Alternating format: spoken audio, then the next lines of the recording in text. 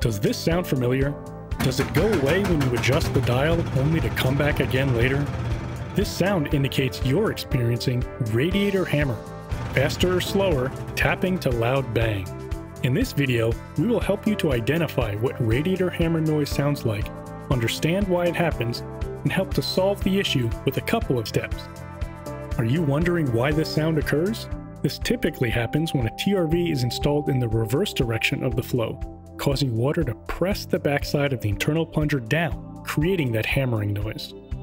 Luckily, radiator hammer issues can be addressed. The TRV must be installed in the proper direction of the flow. This will ensure the flow of water is always pushing the plunger up, eliminating noisy hammering sounds. An arrow is located on the valve to show you the proper flow direction. To eliminate your radiator hammer, reinstall the valve in the proper flow direction. To learn more about Danfoss thermostatic radiator valves and how they can help solve your energy and comfort issues, please visit our site.